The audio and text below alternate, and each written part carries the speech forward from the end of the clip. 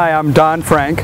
I live here in Northampton, Massachusetts. I work about 20 miles down the road in Springfield, Massachusetts, but I live up here because it's a wonderful place to live. Uh, it's, a, it's perfect for cycling.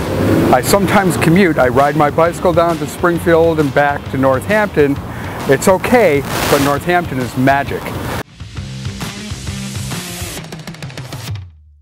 The Northampton Cycling Club is one of the largest uh, cycle clubs in New England uh, including Boston. There's a Boston Bike uh, Cycling Club, there's a Berkshire Cycling Club. Nevertheless, this small town of Northampton attracts a large number of people who are really committed to recreational and family cycling. Uh, we put on kid races through the town of Northampton and we do cycle uh, training. Uh, we have evening rides Monday, Tuesday, Wednesday, and Thursday. They're uh, open to new riders and hard riders. Wednesday nights are big ride where we have more experienced riders, but the rest of the week we have riders who are recreational.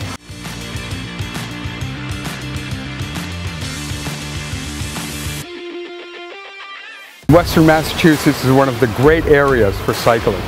People come from all around the United States to cycle here. We have several professional cyclists who live around the area and bring other professional cyclists into the area